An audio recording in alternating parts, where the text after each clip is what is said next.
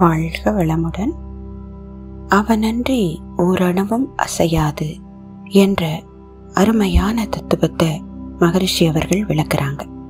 அந்த எல்லையற்ற இறைநிலையே எல்லாவற்றுக்குள்ளும் அறிவாக இருக்கிறது. அந்த இறைநிலையினுடைய நுண்ணிய பகுதி அதனுடைய சுழல் இயக்கமே விண் என்று சொல்லக்கூடிய உயிர்த்துகளாக அமைந்திருக்கிறது. அந்த உயிர்த்துகளிலிருந்து சுழற்சியிலே வெளிவரக்கூடிய விரிவு அலை அந்த இறைநிலையோடு இணைந்து காந்தம் என்று சொல்லக்கூடிய பேராற்றல் உள்ள தெய்வீக பொருளாக நிறைந்திருக்கிறது என்பது அருட்தந்தையின் விளக்கமாகும்.